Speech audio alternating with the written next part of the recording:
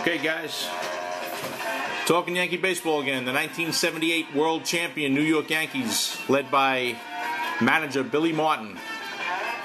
Going to show them to you in the 1979 series of Topps baseball cards. Here we go.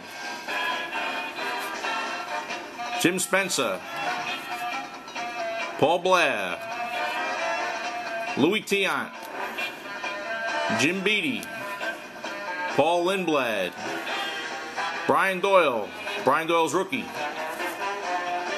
Dick Tidrow, Fred Stanley, Ken Clay, Sweet Lou, Lou Piniella, Tommy John,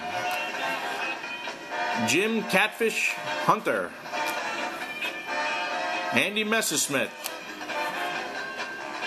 Goose, Rich Gossage, Gary Thomasson, Ed Figueroa, Ron Guidry, Louisiana Lightning. There he is. There's his record breaker card, the Gator.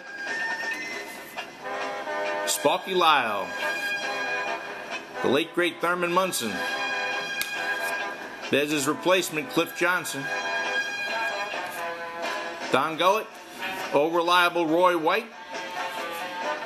Graig Nettles. Who could forget Bucky Dent? The great Willie Randolph. Chris Chambliss. Jay Johnstone. Mr. October, there he is, Reggie Jackson. Ending it out with Mick the Quick, Mickey Rivers. Thanks for watching, everybody.